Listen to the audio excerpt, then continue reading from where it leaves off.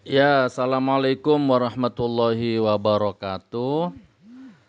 Alhamdulillah saudaraku semua wabil wabil khusus uh, jamaah sahabat Gus Nur yang satu hati, satu perjuangan, satu giroh wabil khusus yang terlibat bergabung di dalam perjuangan pembangunan pondok pesantren tahfidz Quran yang ada di Singosari Malang. Ini ada kabar gembira, desain pesantren alhamdulillah sudah jadi. Saya akan coba review teman-teman ya, saudaraku semua saya akan coba review pelan-pelan ya. Nah, tampak di layar adalah ini kurang lebihnya seperti ini nanti ya. Ini panduan kerjanya seperti ini. Walaupun tidak menutup tidak menutup kemungkinan eh, setelah pengerjaannya nanti akan ada masukan sana sini sana sini begitu. Oke, kita saksikan di layar ini adalah pintu gerbangnya. Nah, ini ada pintu gerbang. Pintu gerbangnya ada dua. Mungkin maksud arsiteknya ini ada ada pintu keluar ada pintu masuk. Mungkin begitu ya. Kalau kemarin saya sempat berimajinasi pintu gerbangnya adalah uh, yang bisa dibuka bisa ditutup gitu. Seperti kayu yang besar gitu yang ya seperti itulah ya tetapi begitu melihat ini uh, rasanya juga bagus juga gitu masuk akal ya elegan gitu. Itu di tengah itu sepertinya nanti biar di zoom ya di tengah itu sepertinya ada posnya ya ada pos satpamnya itu kayaknya. Terus kita lanjut ke slide kedua. Nah ini tampak dari depan ya. Nah itu pintu gerbang ada di tengah ya. Nanti biar dimajukan sama editingnya. Nah yang di kanan kiri itu di situlah yang saya maksud sentra ekonominya di bawah itu nanti ada klinik sehat ya, ada tibun nabawi, ada herbal, ada kuliner, ada apa ya ya se, se, segala macam kuliner lah ya. Baik masakan Jawa sampai masakan Timur Tengah lah. Kemudian ada butik busana muslim, ada parfum, ada apa lagi ya? Ini di bawah ya, di lantai bawah itu kan ada tiga ruangan itu kanan kiri eh, kanan tiga kiri tiga nah itu di situ sentra ekonomi ya eh, ada mungkin ada kafe juga ya kafe syariah kafe itu maksudnya tempat ngopi santai gitu Oke, begitu ya. Itu sentra ekonominya. Jadi ini pondok pesan eh, sembako ya, ada toko sembako. Sehingga kebutuhan para santri dan kebutuhan orang-orang yang bermukim di perumahan itu semua sudah di backup dan di cover di situ. Nah, jadi itu lantai satu ya. Sentra ekonomi. Saya berpikir begini, pondok pesantren tahfidz Quran yang di Palu itu dengan biaya operasional 20 juta setiap bulan minimal 20 juta itu bisa kita cover dengan izin Allah ya bisa kita cover rutin tiap bulan selama 9 tahun ini. Ya padahal di situ tidak ada sentra ekonominya ya. Saya tidak bisnis apa-apa di situ. Itu sama Allah dipermudah gitu kan. Maksudnya bisa gitu. Apalagi kalau ini ada sentra ekonominya masya Allah tentu lebih bisa lagi. Makanya saya hakul yakin pondok pesantren ini adalah pondok pesantren tafid Quran gratis tis tis tis baik anak orang kaya anak orang miskin gratis semua yang penting menghafal Quran ya Oke, ini lantai satu ya, itu kuliner dan dan, dan lain sebagainya. Nah itu kita tampak lantai dua kan. Nah di lantai dua itulah nanti kita siapkan oh, kamar ya, ya semacam hotel syariah atau kamar syariah atau apalah tamu-tamu jauh yang mau nginap. Uh, mungkin orang tua santri yang mau nginap atau apa kan. Saya ber berpikir ada majelis taklim, ada pengajian rutin bulanan biasanya jamaahnya dari, dari luar kota sekaligus rekreasi atau destinasi wisata religi mungkin butuh nginap, kita sudah siapkan tempat menginap di lantai dua itu. Nah begitu uh, jamaah yang dimuliakan Allah. Terus kemudian kita masuk ke, uh, ini tampak halaman masjid ya. Ini masjid tampak dari depan. Oh ya, jadi masjid ini ternyata uh, perimamannya itu lurus dengan pintu gerbang tadi kurang lebihnya begitu. Jadi pintu gerbang tadi itu uh, di barat ya, arah kiblat. Nah ini masuk pintu gerbang langsung ketemu halaman luas seperti ini. Mungkin ini bisa untuk parkir mobil atau apalah ya. Itu tampak masjid tampak dari depan, kemudian nah ini masjid tampak dari dalam ya. Atau tampak dari belakang ini sepertinya. Oke. Nah itu yang tadi tampak dari depan, yang ini tampak dari belakang. Masjidnya juga lantai dua. Yang fungsi masjid nanti ada di lantai dua, sementara yang bawah itu aula karena akan ada banyak sekali acara-acara tertentu yang mungkin mengundang ribuan tamu atau jamaah yang mungkin bisa tidur bermalam nanti di aula yang bawah itu lantai bawah masjid itu kita buat los ya kemudian ini kayaknya ya ini apa ya tadi ya sepertinya ini kantor ya kantor dan kamar-kamar para ustadz Nih di lantai dua itu, eh di lantai pertama itu kantor ya. Kantor, lantai duanya nanti eh, kamar-kamar para pengajarnya, para ustadz ustadahnya ya. Eh, ustadznya maksudnya ya. Oke, nanti berkembang ya. Ini hanya sekedar gambaran awal. Kemudian ini dapur umum, ruang makan umum, dan seterusnya dengan kamar santri. Semua serba lantai dua. Nah, itu di pojok itu kamar-kamar santri ya, atas dan bawah. Kamar-kamar santri, ada dapur umum dan seterusnya. Kemudian ini kamar-kamar santri, sepertinya ini masih kamar santri. Nah, ini tampak dari atas. Ya, tampak dari atas nanti saya juga akan buat rumah tinggal ya kecil di sini untuk terima tamu dan lain sebagainya. Nah ini ada lapangan memanah ya. Ini memanahnya belum belum dipasang. Jadi di ternyata itu posisi tanahnya ada yang trap gitu, di ada yang ke bawah gitu. Nah di situ anak-anak bisa menghafal Quran di dekat taman situ bisa latihan memanah juga di situ. Ya istilahnya taman lah di situ itu.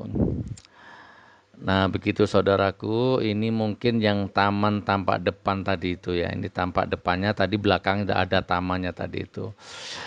Baik ini yang bisa saya sampaikan saudaraku ya. Mudah-mudahan bermanfaat mudah-mudahan barokah. Ya Allah nah sekarang kita saksikan sekarang kita saksikan liputan saya tadi hari Jumat tanggal 5 tadi eh, sekitar pukul 10 saya mengadakan liputan lagi eh, di lokasi ya. Ini, ini update lokasi yang terkini teman-teman ya.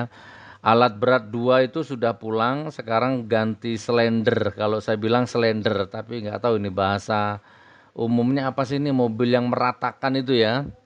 Nah, itu kita sudah masukkan tadi. Oke, selamat menyaksikan liputan yang terupdate hari ini Jumat 5 November. Baik, dan untuk teman-teman yang satu hero, satu perjuangan, Allahu Akbar, Allahu Akbar, Allahu Akbar.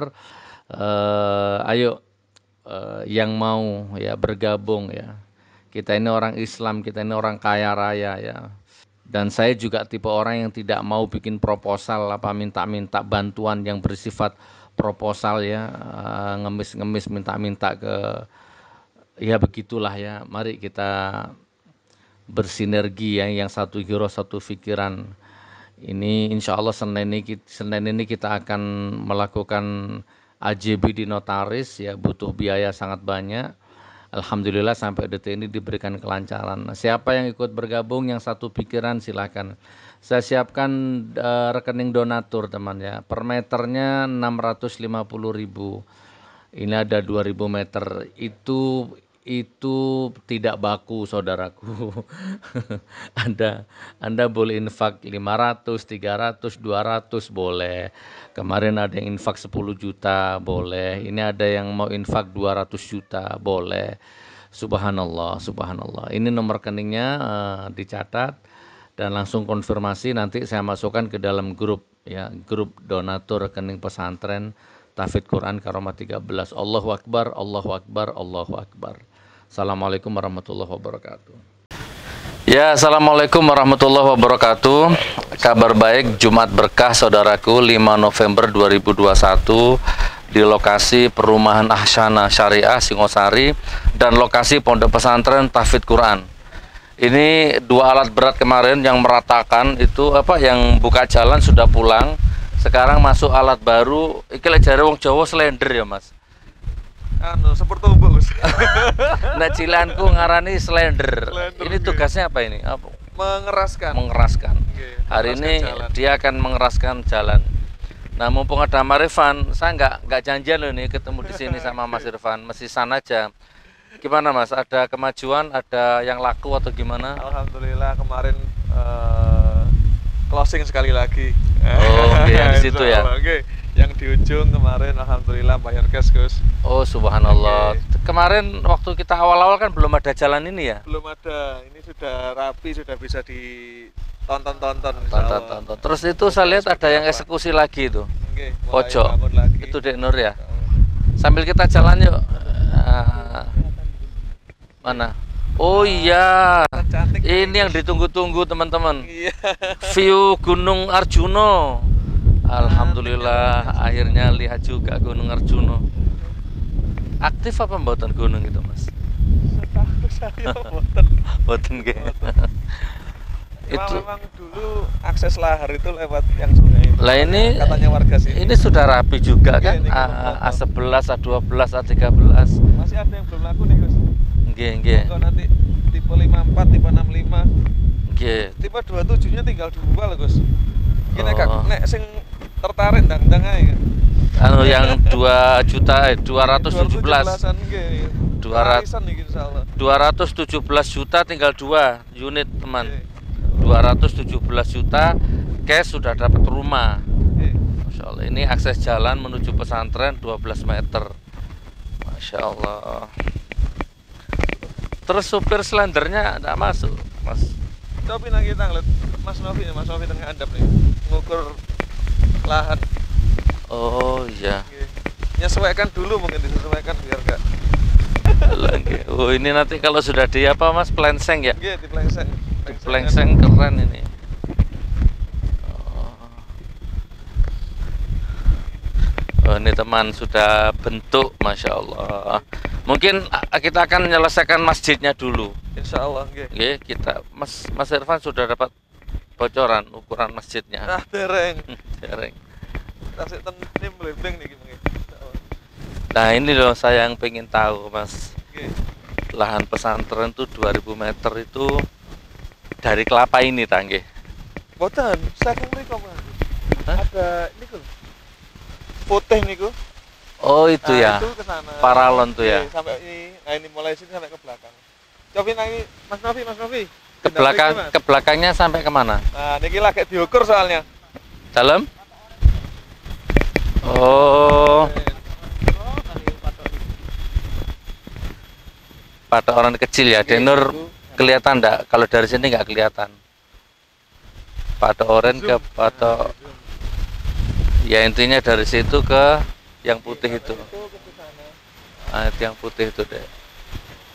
Pinten? 358 nggih.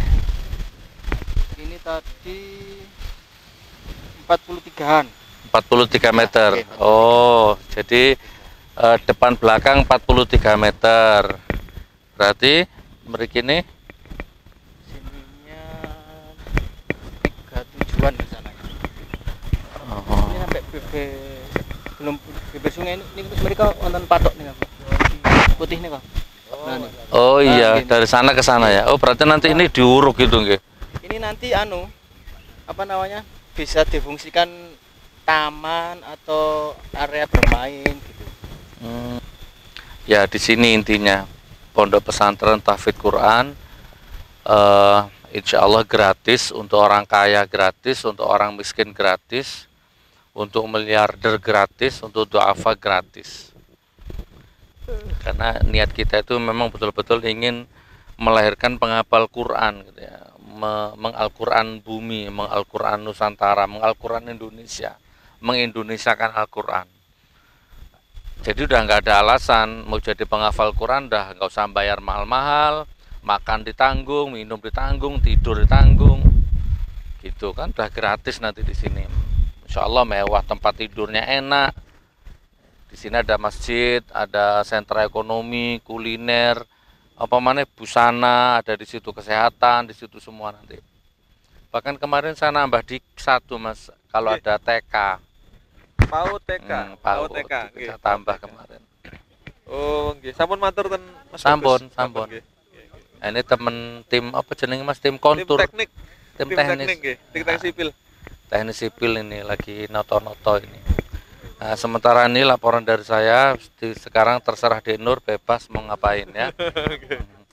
Yang ikut ya bergabung, ayo. Nah, membangun pesantren itu kalau diizini, disendiri itu ya Allah pasti akan kasih jalan. Tapi wong namanya untuk akhirat ya, untuk keagamaan itu wajar. Buka donatur bukan saya saja siapa pun buka pesantren ya mesti buka donatur tuh. Orang tuh nyinyir loh mas. Udah punya duit bangun pesantren. Masya Allah ada ya orang seperti itu tuh. Ya Allah wes ya tapi nantilah kita lihat ya. Insya Allah ini jadi gratis ya. Ini saya beli ini tanah ini beli 650.000 per meter Nah, ayo kita gotong royong ya. Yang mau, yang tidak mau ya nggak apa-apa kan, nggak nggak makso gitu loh. Yang mau, oh iya ya, ah untuk akhirat, oh iya ya, nanti kalau jadi anakku mondok di situ, oh iya ya, oh iya ya, kan cari seribu hujah yang baik. Ya, itu ini saya lelang dan belum lunas ya. Nanti insya Allah kalau sudah masuk separuh uang, kita mulai bangun masjidnya dulu. Di sini kayaknya anu mas kemarin dapat bocoran saya dengan kondisi tanah Nggih. Pembangunan masjid itu per meter bisa 3 juta sampai tiga setengah dengan kondisi tanahnya nggih. Apa-apa. Lantai dua juga nanti masjidnya. insyaallah. Ah, masya Allah di situ ada tempat menginap para orang tua. Orang tua jauh-jauh kalau ke sini mau nginap di situ. Atau mau lihat Gunung Arjuno nginapnya di situ. iya. Ya gitu ya teman-teman ya. Ayo eh, berinfak bersedekah. Yang mau yang satu hati yang satu pikiran saya sudah bangun di Palu tuh sampai sekarang meger-meger tiga lantai magrong-magrong gratis sampai sekarang. Nah sekarang mau tak pindah cabangnya di sini bangun lagi di sini gratis. Nggak pakai proposal. Nggak nggak jaluk-jaluk proposal nang pejabat-pejabat politikus enggak ya. Usaha kerja sambil eh, barangkali ada yang mau bergabung di dalam perjuangan ini termasuk beli rumah di sini di Asana ini. Nanti dua setengah persennya nyemplung sini plung gitu. Ya gitu mas ya. Oke, lurus Gus. Insyaallah. ya. Jadi kalau anda punya rumah di sini anda punya pesantren ini dah udah anaknya mondok di sini sudah gratis sudah tidak ada ribanya di sini. Barokallah udah gitu ya teman ya. Rekeningnya donaturnya Bank Muamalat 831003876 atas nama Majelis Zikir Karomah 13 pun Assalamualaikum warahmatullahi wabarakatuh. Taman kate ngomong apa? Rasanya kok Sampun. kepingin ngomong ngoten. Alhamdulillah. Lihat orang teknis kerja. Lihat 13 kanan kiri, 13 kanan, 13 kiri untuk sentra ekonomi. Kios, toko, ruko, butik, apotek. 13 meter kanan, 13 meter kiri. Di tengah-tengah ada pintu gerbang 6 meter. Masuk. Di sini pintu gerbangnya. Nah, ini pintu gerbangnya ini. Masya Allah. Gede dukur kayak pintu gerbangnya Raja Fir'aun ngono. eh, pakai Cleopatra gitu apa? Pakai ornamen Mesir gitu. Ayo kita bekerja Bekerja apa saja. Yang penting halal dan barokah. Siang malam terus bekerja. Tapi jangan sampai lupa Sholat dan dikir wajib hukumnya Tegakkan sholat pada waktunya. Rezekimu berlimpah Rezeki rezekimu berlimpah. Tapi jangan sampai lupa Sholat dan zikir wajib hukumnya. Tegakkan sholat pada waktunya Rezekimu berlimpah Rezekimu berlimpah.